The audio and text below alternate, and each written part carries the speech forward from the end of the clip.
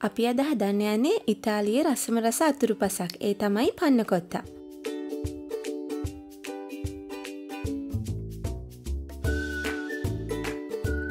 පන්නකොත්ත හදාගන්න කලින් මුලින්ම අපි ජෙලටීන් ටික උණු වතුරේ හොඳින් දිය කරලා පැත්තකින් තියාගමු.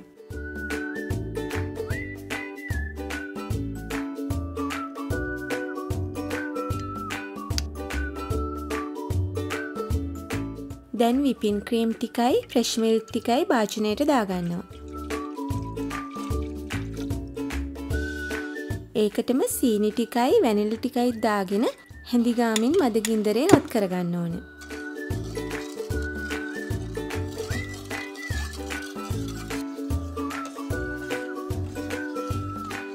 ටික වෙලාවකින් ඔයාලට පේනවනේ මේ මේ වගේ බුබුලු වෙනවා කිරි ටික රත් වෙනකොට.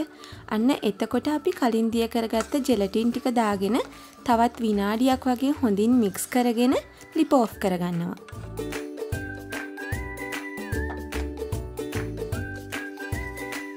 දැන් ජෙලටින් ටික හොඳට කිරි ටිකේ දිය වෙලා තියෙන්නේ. අපි දැන් මේ කිරි ටික පෙරාගමු.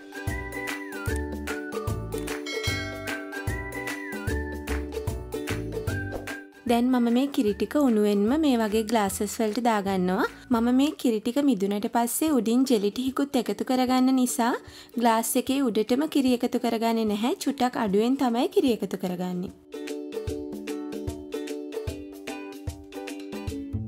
දැන් මේ වගේ පොලිතින් එකකින් කවර් කරගෙන හොඳට සෙට් වෙනකන් පැය 4ක් 5ක් එහෙමත් නැත්නම් රැයක් පුරා ෆ්‍රිජ් එකේ තියන්න පුළුවන්.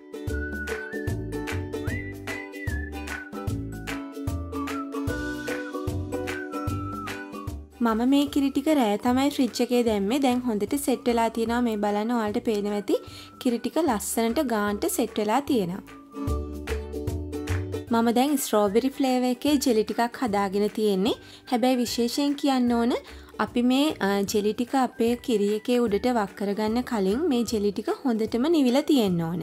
එහෙම නැත්තම් වෙන්නේ ජෙලි ටිකයි කිරි ටිකයි මික්ස් වෙලා අපිට මේක හරියට ලස්සනට සෙට් කරගන්න බැරි වෙනවා. දැන් මේ විදියට පරිස්සමට ග්ලාස් එක ඇල කරලා අපි හදාගත්ත ජෙලි ටික පුරව ගන්න.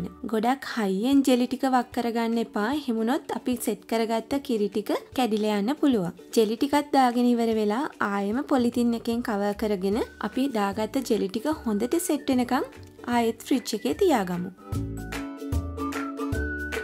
දැන් හොඳට ජෙලි ටික සෙට් වෙලා තියෙන්නේ මේ බලන්න. හරිම ලස්සනට සෙට් වෙලා තියෙනවා. ඒ වගේම තමයි සුදු පාටයි රතු පාටයි නිසා හරිම ලස්සනට කැපිලා පේනවා. ඉතින් ඔයාලටත් පුළුවන් මේ විදියට හදලා බලන්න. විශේෂයෙන් කවුරු හරි ඔයාලගේ අමුත්තෙක් නෑදෑයෙක් ගෙදරට එනවනම් ඔයාලට මේක හදලා ලස්සනට පිළිගන්නන්න පුළුවන්.